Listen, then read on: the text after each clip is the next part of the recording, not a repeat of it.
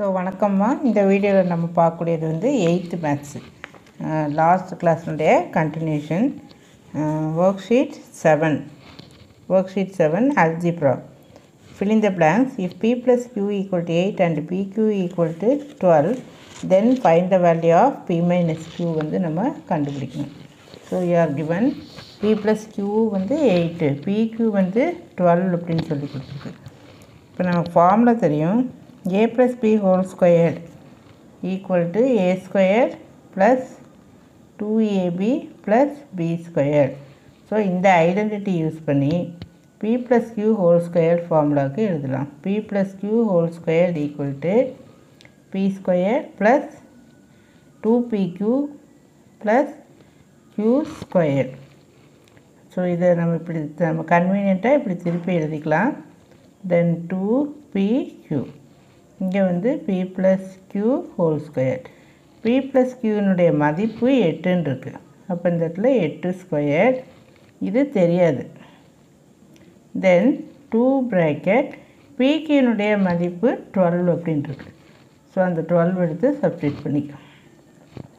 இங்கே என்ன வரும்? Sixty four P square plus Q square இங்கே டுவெண்ட்டி ஃபோர் இந்த டுவெண்ட்டி ஃபோரை இந்த சைடு கொண்டு வந்தால் ப்ளஸ் என்ன ஆயிரும் மைனஸ்ன்னு சொல்லி சேஞ்ச் ஆயிடும் P square plus Q square இந்த ரெண்டும் செப்பரேட் பண்ணினா ஃபார்ட்டி இப்போ பி ஸ்கொயர் ப்ளஸ் க்யூ ஸ்கொயருடைய மதிப்பு கண்டுபிடிச்சிட்டோம். கொஸ்டின் என்ன கேட்டிருக்குன்னா P minus Q whole square அப்படின்னு சொல்லி கேட்டிருக்கு. அப்போ P minus Q whole square equal to இதோட ஃபார்முலா என்ன? P square minus two P Q plus Q square இங்கே ப்ளஸ் அப்படிங்கிறப்போ இந்த இடத்துல ப்ளஸ் வரும். இங்கே மைனஸ் அப்படிங்கிறப்போ இந்த இடத்துல மைனஸ் வரும். நம்ம கன்வீனியண்ட்டாக இந்த மாதிரி இப்படி திருப்பி எழுதிக்க பிகாஸ் அந்த வேல்யூவை சப்ஸ்டியூட் பண்ண போகிறோம் இது வந்து P minus Q whole square இதோட வேல்யூ தான் கண்டுபிடிக்கணும்.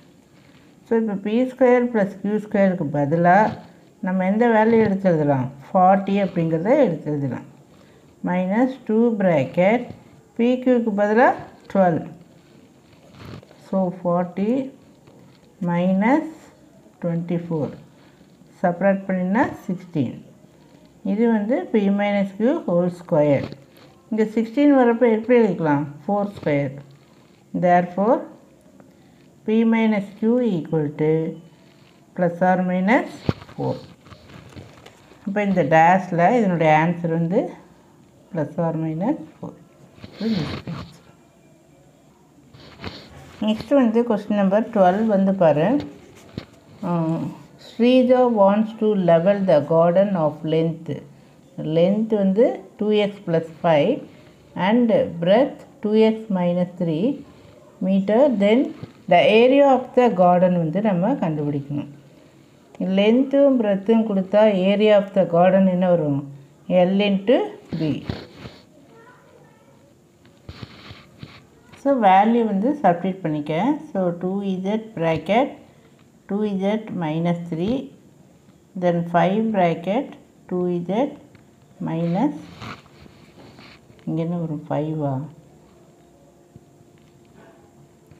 கரெக்டு தான். டூ இஜெட் இந்த இடத்துல ப்ளஸ் ஃபைவ் ஸோ இந்த டூ இஜெட்டை உள்ளே கொண்டு போ. அப்போ என்ன வரும் ஃபோர் இஜெட் ஸ்கொயர் இந்த டேர்மை ஒவ்வொன்றையும் உள்ளே கொண்டு போய் நம்ம என்ன பண்ணணும்? மல்டிப்ளை பண்ணு. Four Z square minus three two சா six Z plus ten Z minus fifteen so four Z square plus ten minus six greater number sign use பண்ணினா four so four Z minus 15 this is area. Unit என்ன கொடுத்துருக்கு? Metre square so next question பார்த்தீங்கன்னா the simplification of M bracket three M square minus twenty one then three M bracket M minus three question number வந்து போடணும். இப்போ இதை simplify பண்ணணும் அப்படின்னா இந்த எம் என்ன பண்ணணும்? உள்ளே எடுத்துகிட்டு போகணும். பிஃபோர் தட் வேண்டாம். இதில் வந்து யூ கேன் டேக் த்ரீ வந்து காமனாக எடுத்துக்கலாம். So here that is equal to M take three common three common எடுத்தீங்கன்னா எம் ஸ்கொயர் மைனஸ் நைன் அப்படின்னு எழுதணும். Because twenty செவனை three into three into three so ஒரு த்ரீ காமனாக எடுத்துட்டோம். அப்போ மிச்சம் என்ன இருக்கும்? Three three sir nine next three M then M minus three இப்போ இந்த த்ரீ எம்மும் இதையும் மல்டிப்ளை பண்ணிக்க. என்ன எழுதுகிறோம் nine M square then M square minus nine M minus three so that is equal to nine M square இது வந்து நைனை எப்படி எழுதிக்கலாம்? த்ரீ ஸ்கொயர் அப்படின்னு எழுதிட்டுனா A plus B A minus B already ஒரு எம் மைனஸ் த்ரீ ஹோல்ஸ் இருக்குது இந்த கொஸ்டினை மறுபடியும் பார்க்கலாம். கொஞ்சம் சரியாக நீட்டாக இல்லை. இப்போ இதில் வந்து எம் வந்து இருக்கா?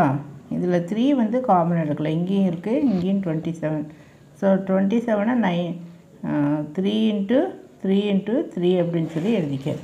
அப்போ ஒரு த்ரீயை காமனாக எடுத்துரு. அப்போ உள்ளே வந்து இந்த த்ரீயை எடுத்துட்டோம். மிச்சம் என்ன இருக்கும்? எம் ஸ்கொயர் மைனஸ் இதில் ஒரு த்ரீயை காமனாக எடுத்துட்டோம். அப்போ மிச்சம் என்ன இருக்கும்? நைன் இருக்கும். அல்லது you can write this as three square இங்கே வந்து three M M minus three so this is இந்த த்ரீ எம்மும் இந்த த்ரீ எம்மும் சேர்ந்து மல்டிப்ளை பண்ணினா நைன் எம் ஸ்கொயர் இங்கே M square minus nine then M minus three so nine M square இந்த எம் ஸ்கொயரை இந்த ரெண்டுக்கும் சேர்ந்த மாதிரி எடு. அப்போ எம் மைனஸ் த்ரீ அடுத்தது minus nine M minus three so nine M square இந்த எம் ஸ்கொயரை ஒவ்வொரு டேர்முக்கும் உள்ள எடுத்துகிட்டு so m cube minus three m square அடுத்தது இந்த மைனஸ் நைனை உள்ளே எடுத்துகிட்டு minus nine m minus minus என்ன ஆயிரும்? இந்த மைனஸ் இந்த மைனஸும் ப்ளஸ்ன்னு சொல்லி twenty seven. So nine m square இங்கே ப்ராப்பராக எழுதிக்க. M cube minus three m square minus nine m plus twenty seven இப்போ இந்த டேர்மை ஒவ்வொன்றுக்கும் நம்ம எடுத்துகிட்டு போகணும் so nine m power five இந்த பவரெல்லாம் என்ன பண்ணிக்கணும்னா ஆட் பண்ணிக்கணும். Minus nine into three twenty seven m power four two plus two four then minus eighty one இங்கே ஒரு டூ இருக்குது இங்கே ஒரு பவர் ஒன் இருக்குது இப்போ டூ ப்ளஸ் ஒன் த்ரீ அடுத்தது எம் ஸ்கொயர் இதை மல்டிப்ளை பண்ணிக்க. இங்கே பேலன்ஸ் சிக்ஸ் அப்போ two hundred and forty three m square இதுதான் என்னுடைய ஆன்சர்